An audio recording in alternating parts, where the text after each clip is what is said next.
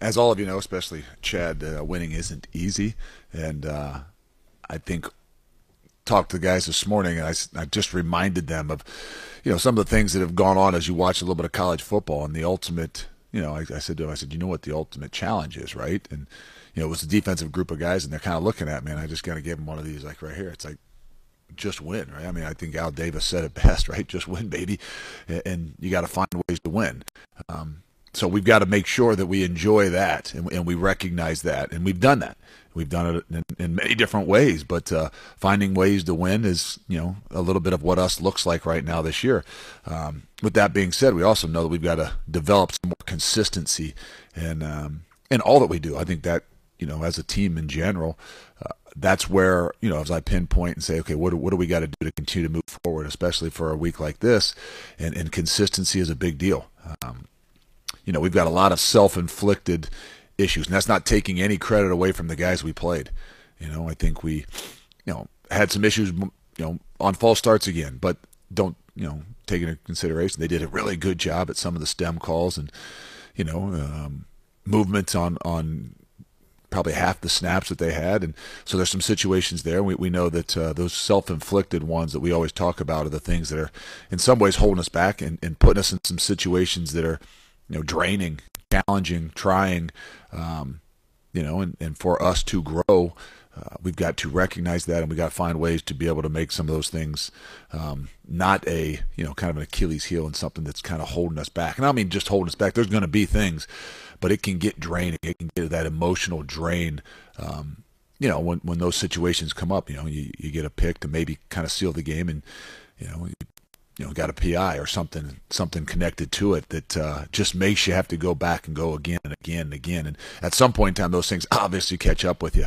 Um, but with that being said, we found ways to win, and, and I think that's where we've grown the most. Now, it's going to be uniquely different this week. This is our first true challenge since week one to go on a road in a hostile environment and play a great football team. And I'm not saying take anything away, like I said, from the teams we've played on the road.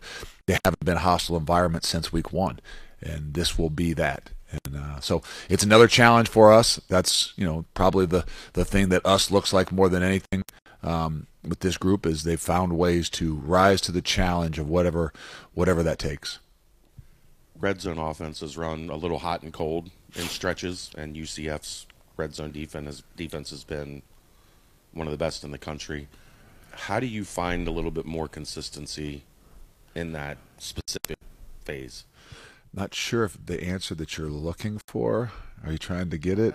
Okay, all right. I, I, it, it still comes down. Yeah, it, it, still comes down to the things you got to do. The things you do really well, and um, I haven't looked exactly at the statistics of them red zone wise. I know that in the past we have been a very good red zone uh, offense and defense. We put a lot of time and effort. When we go camp, we go every third day in the red zone.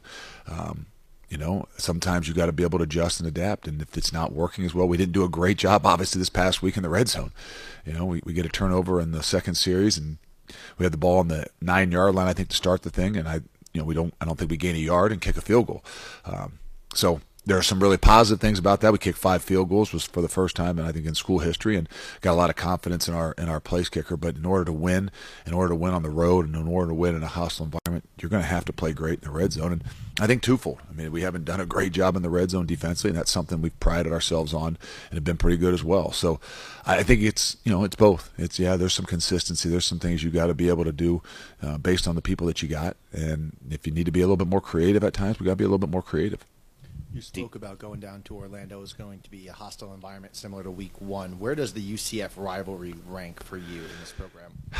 I mean, it, it's huge to me because if you know, I, I kind of go back to you know always what starts it, right? And and in year one, it was. I'm not saying it was a bit of a rivalry, but all I remember is that game and whether it was called because of the weather or it was called because of anything else. Um, the reality is it was called and it wasn't a game and so whether it's become a rivalry because, you know, they were the champs and then we ended up knocking them off a couple years ago, you all rivalries are created differently.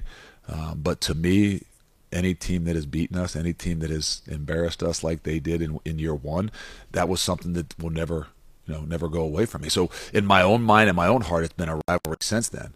Um, but I would say I've got quite a few of those with anybody that's, you know, that's beaten us. Um, you know, but I, I do think obviously as as everything moves forward too, I think you're going to see that this one is going to stay. This one is going to be created. Um, you know, and I think I think Chad might have a little bit of a hand in, in helping create that rivalry as he banters back and forth with people. And but you know what? That's how rivalries are created. The only thing that's different from maybe the rivalry I've grown up with is, you know, when you recruit against each other, that rivalry grows as well. So it's year round. We recruit a little bit against each other, um, but I don't know that it's like the home base for a lot of those things. But uh, I think that's where those they were created and they're started on the football field. They grow to some of this new age stuff, and then it's obviously when when it becomes a a recruiting rivalry at times too. It creates something throughout an entire year, and I think that's what's good for college football. They've got a quarterback who likes to run the ball as well. Do you feel better prepared for that? You know, considering who you faced so far this year.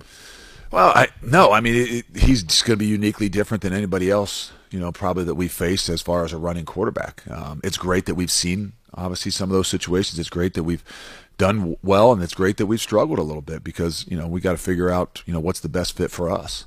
Um, you know, and they'll they'll do some things a little bit different. They'll adjust some things, obviously, like they do because they're really good coaches and players.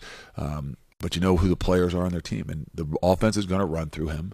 Whether he's running a football, he's scrambling around, or he's making things happen with his feet and his arm. Um, I think the entire first seven games, you know, help prepare you for whatever it is that you're going to see. Um, you know, might be a little bit different. Might not be as many, you know, shots down the field that we had prepared for last week. Uh, but if you neglect to prepare for those things, that's where the some of their biggest plays have come as well. So, um, I think the whole the whole picture of it the entire year from what we faced in week one to this past week is what helps us grow and uh, be able to adapt and you know put a plan in place. You talked about quarterback being obviously more highly scrutinized position. You've talked about how Ben has played. How do you feel like he's handled some of that scrutiny or you know back to outside expectations again? You know, I, I don't see any change in Ben. You know, I, I really don't. I, I, I can't tell you that he doesn't see and feel and hear, but I, if people ask me what's the greatest attribute of, of Ben, I would say his maturity, his ability when, you know, he was mature when he walked in the door here five years ago. He was mature when he walked out of the door here a couple years ago, and he was even more mature when he walked back in the door here. And uh, you know, so I would expect that you know, regardless of whether it's really positive or negative, that he's going to take it with a grain of salt. It's not that he doesn't see it, it's not that he doesn't hear it, but I, I know he's mature enough to be able to handle it. Um, and I, I say that because I have not seen whether it's been a demeanor, I haven't seen a body language, I haven't seen anything any different. And I complimented more than anything um, in my mind, I don't know if I said it after the game as well, is, is if you could watch a few drop balls and you know maybe really good catches, different things, where even in spring ball I could tell the difference when a kid dropped the ball and when he didn't, and and sometimes the reaction or demeanor of Ben. And we had talked about that. I watched the entire game. I, I didn't see one difference in you know how he handled a guy that maybe caught a great ball or dropped a ball or something that should have happened that didn't happen. And I just say, you know what, he, he He's continuing to grow. He was mature before. He's even more mature. He's handling this thing, and I would expect that he could handle all these outside opinions if needed um, the best way possible. The two or three weeks prior to this Saturday, UCF looked like they were gaining a lot of steam and building momentum, and then obviously they had a rough one uh, at ECU. Is that kind of a perfect example of every Saturday. You, you I do. I think it is. I think some people neglect to, to think that oh, some when because our league or no, that's not. You know, the, the league is. You know, you guys don't have to play as. I mean, the reality is, you know, there's a lot more parity in, in what it is we're seeing throughout the country. I still would tell you that there's a probably a top six or eight. You know, that maybe are talented, different than everybody else.